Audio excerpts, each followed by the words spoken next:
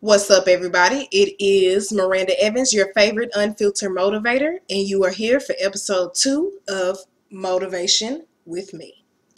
So, today we're going to talk about self confidence. It is May, it is our month of All About Self.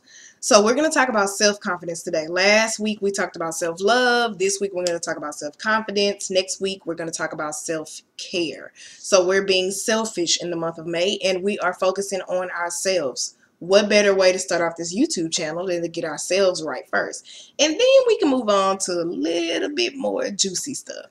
Um, self-confidence by definition is a feeling of trust in one's abilities, qualities, and judgment.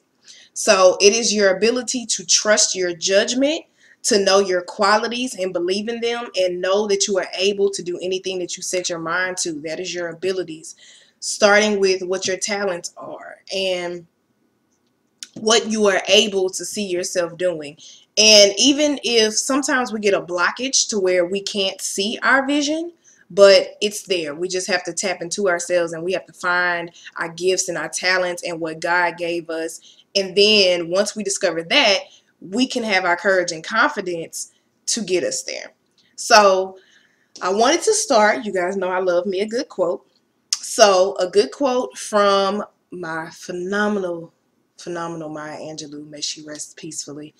If one has courage, nothing can dim the light which shines from within. That came from Rainbow in the Cloud. So this is my book recommendation for the week, The Wisdom and Spirit of Maya Angelou.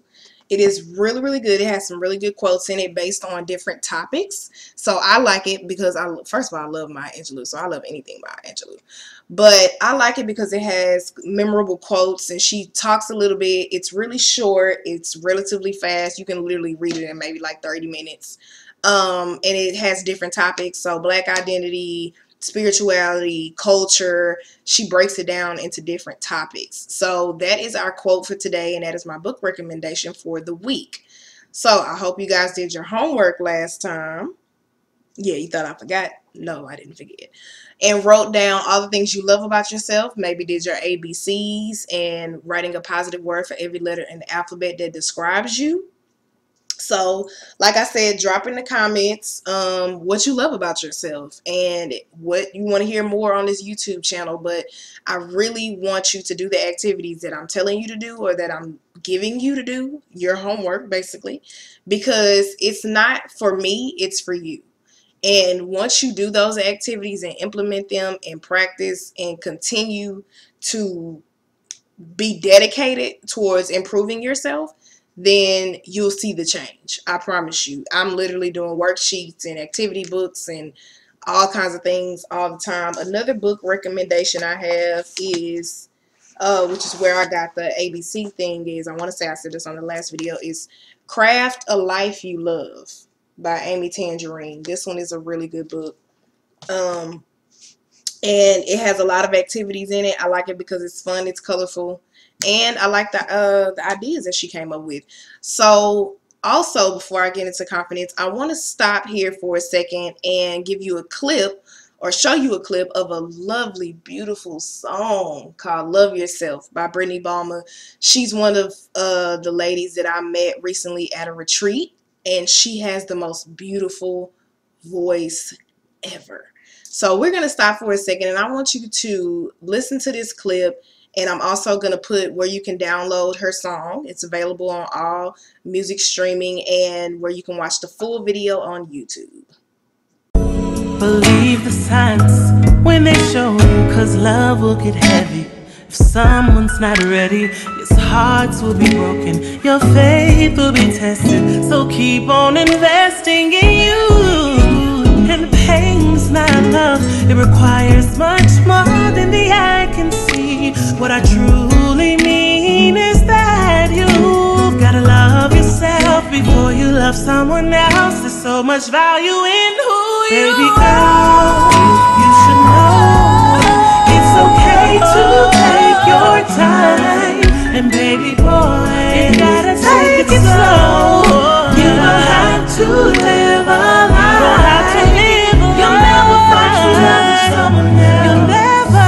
until you truly learn to love yourself. You truly learn. You'll never find love until you truly learn love. Wasn't that beautiful? Let's just give a, a round of applause for that. That was just, oh, I love her voice. It is amazing. I literally play that song every day, probably more than once a day, because it just really touches me. And the words that she's saying is so true. You have to learn to love yourself first. We talked about this in the last video last week. So that is a clip from Brittney Balma. Love yourself. Please make sure you guys download that, listen to it, watch the video. It's phenomenal. Like I said, I listen to it every day. So um, I want to go on with um, a scripture. Proverbs 31 25 says, Strength and honor are her clothing.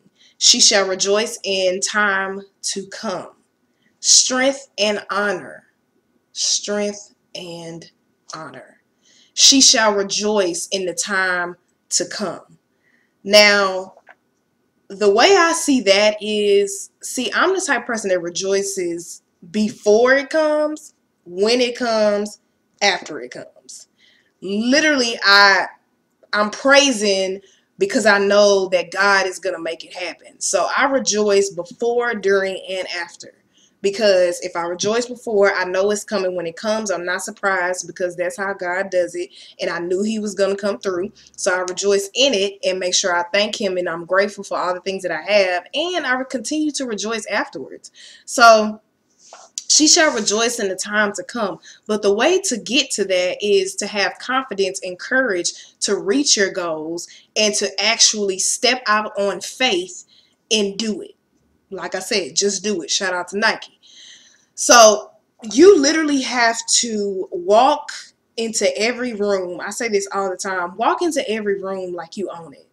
You know, to especially to my black women walk into the room like you own it. So this is, you know, it's not women, men in general, but especially women. We have to hold our head high and we have to walk in with that confidence. I actually posted a clip on Instagram not too long ago, a little short video about how we can use our womanhood the right way to get where we need to go and to be confident in ourselves that we're capable to do anything that we set our minds to. Whatever your visions are, whatever your goals are, whatever your dreams are, you have to have that confidence to reach them. And my goal is to give you that push and tell you, sis, brother, you can do it. Have confidence in yourself. Believe in yourself. Because if you don't believe in yourself, nobody else is going to believe in you like I said, when I started this YouTube channel, I didn't know what to expect. I didn't know what to do. I've never done a YouTube channel. I've done YouTube videos, but to actually have a consistent, excuse me, YouTube channel, it was it's difficult. And you know, this is just the beginning, so it's gonna continue to be difficult. It's just another thing that I've added to my plate. But I feel like it needs to be done because people need to hear this motivation and people need to be filled with encouragement and learn something from my experiences of what I'm sharing with you. So I had to step out finally and build that confidence to say, hey, I can do this. I can do this YouTube channel. So whatever your dream is, whatever your goal is, you can do this. You have confidence in yourself. So homework time. Before I go to the clip, um, that I posted on Instagram because I want to add that in so you guys can see that as well. Your homework is dun, dun, dun, dun, write down in the comments what it is that you want to do but you're afraid to do it. What it what is it that you need confidence in? Whether it's your body image, whether it's your faith, whether it's your the next move you want to make, building that, starting that business, building that nonprofit, whatever it is that you need confidence in or to step out on or you need faith in, please drop that below in the comments. You know, let's not be shy. We're all family here. We're all friends. Like I said, I only do positive energy. So please drop it in the comments. I will respond to it, give you my feedback on it continue to push you and make sure that you have that confidence within yourself. So we're going to pause for a second and I'm going to show the clip that I posted on Instagram um, maybe a few months ago. I think the one thing women have to learn or should learn about being businesswomen and getting things done and accomplishing things is to use their womanhood. Use what you have. You have the power to do so much and to get so many things that you want. You just have to know how to use it. And the first step to that is confidence. You have to have confidence. Like, let's take, for example, Community Coffee gave us extra donations. Shout out to Joe Hill at Community Coffee. But Joe hooked us up with extra donations because he checked out our website, you know, and I talked to him. I smiled with him. We talked about giving back to the community. Like, these are things that I that women can do without having to flirt or be sexual. You have to have confidence in yourself.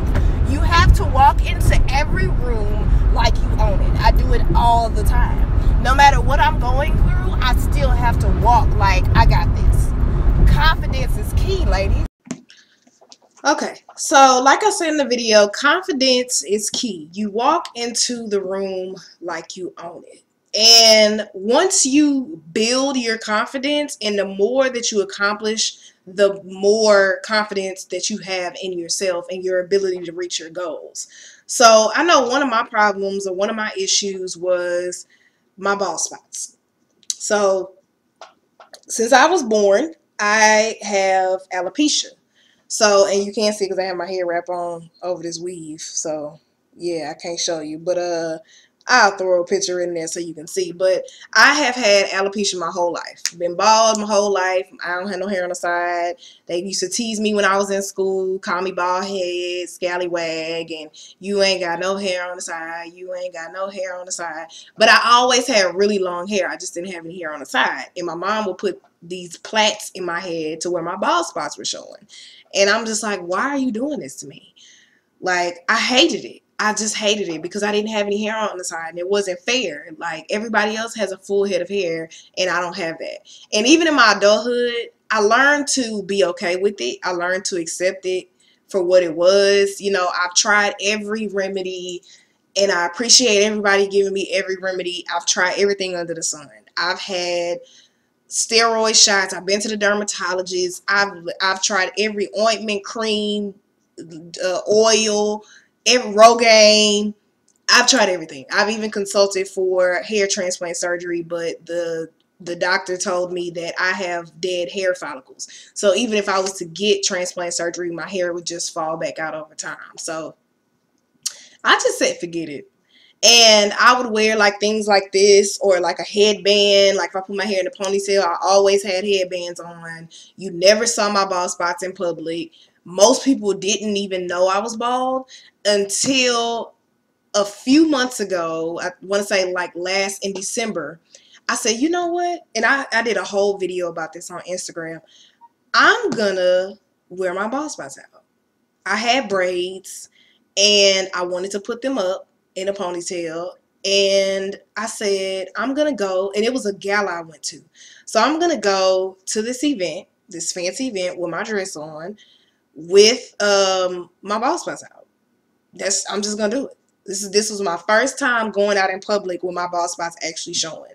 And I was just so focused on the fact that my bald spots were out It's like I was paying attention to the event, but at the same time, it's like, oh, my bald spots out. Like, you know, I'm a little, it's a little cold. Are people looking like, you know, I just felt exposed. I felt really exposed. But later on in the night, I just started to embrace it. And I was taking pictures, and the photographer was taking pictures of me. And those were actually some of my best pictures. And it just made me happy because now I wear my bald spots out all the time.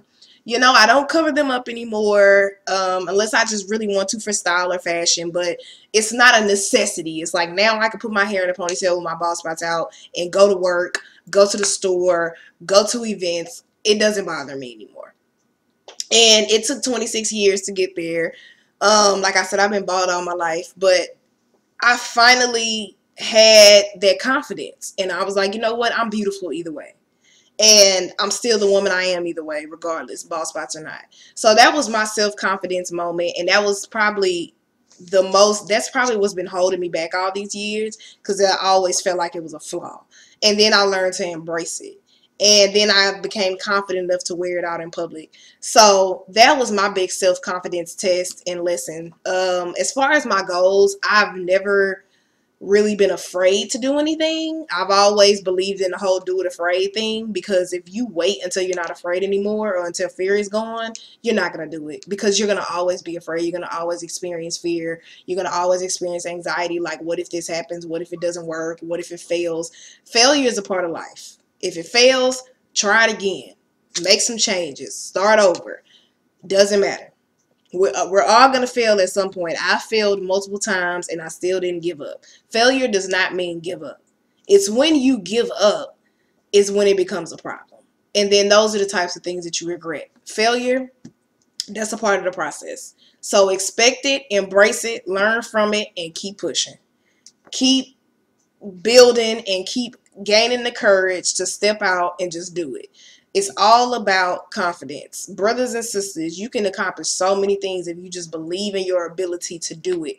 If you believe in the qualities that you have as a human being and as a person.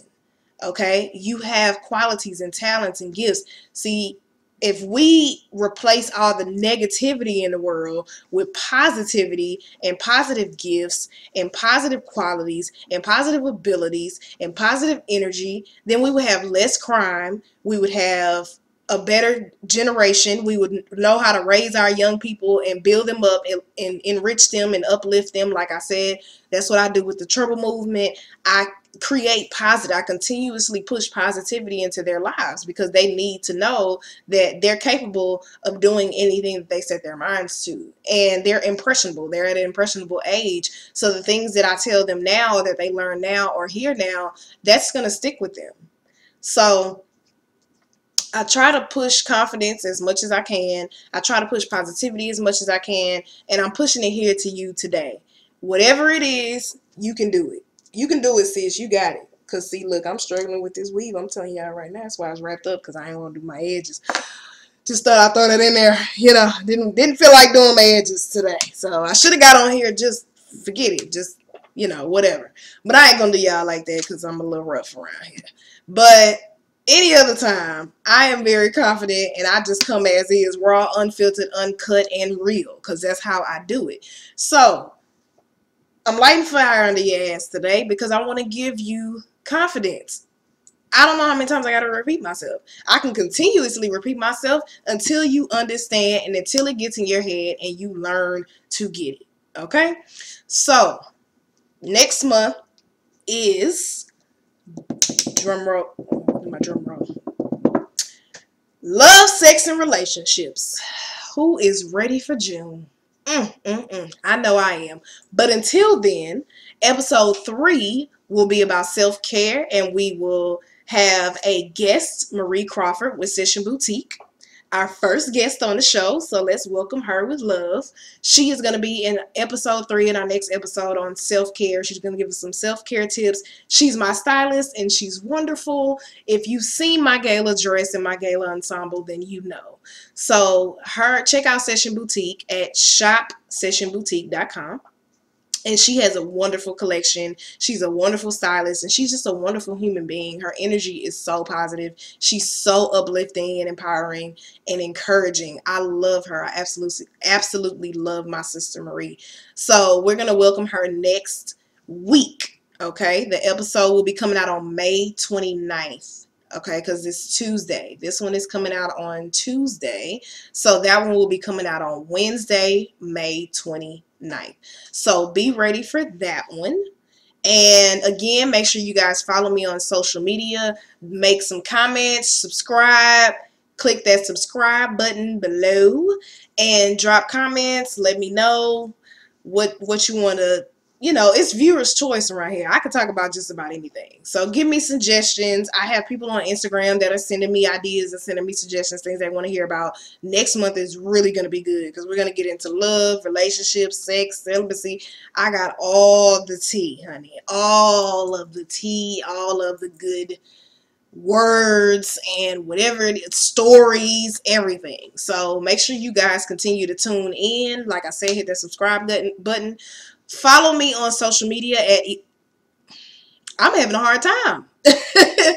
Follow me on social media at Elements of Me. My social media information is also down below.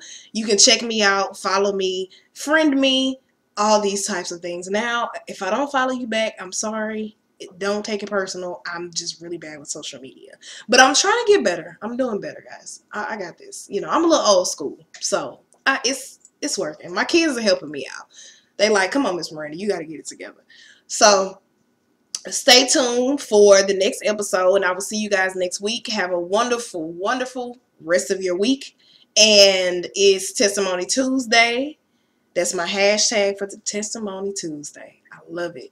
Um, have confidence, be happy. And again, this is your favorite unfiltered motivator, Maranda Evans, and you have just tuned in to episode two of Motivation with Me.